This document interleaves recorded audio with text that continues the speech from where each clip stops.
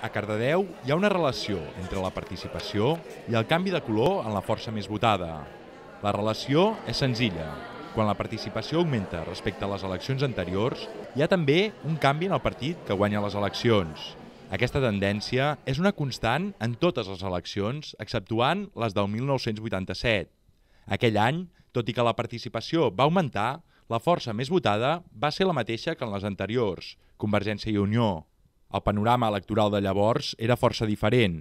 El 1987, només tres partits tenien representació al consistori, Convergència i Unió, PSC i Esquerra.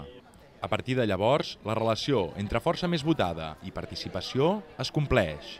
Així, la participació en els comicis de 1991 va baixar i CiU va continuar com a força més votada. No va ser fins a les eleccions de 1995 quan, coincidint amb un increment de la participació, el PSC va passar a convertir-se en la primera força en detriment de CiU. El 1999 baixa la participació i el PSC torna a guanyar les eleccions. La tendència repeteix en el sentit invers al 2003, quan després de dues eleccions amb el PSC al capdavant, un nou ascens de la participació va situar Convergència i Unió com a força més votada. En aquest cas, però, la formació d'un tripartit entre el PSC, Esquerra i Iniciativa va impedir que CiU governés a Cardedeu. Des de llavors, la participació va anar a la baixa i CiU va mantenir la seva hegemonia. Així, el 2007, la participació disminueix i CiU, altra vegada, es situa al capdavant. En aquesta ocasió, però, formen govern amb Esquerra de soci.